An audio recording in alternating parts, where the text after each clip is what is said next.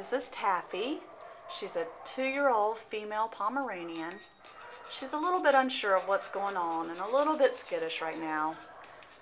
But we are showing her plenty of attention and love. So hopefully she'll gain a lot of confidence very soon. So she can warm up and be a sweet girl that we know she can be. Taffy, two-year-old Pomeranian at Atlanta Pet Rescue. Good girl, Taffy. Taffy. Good girl.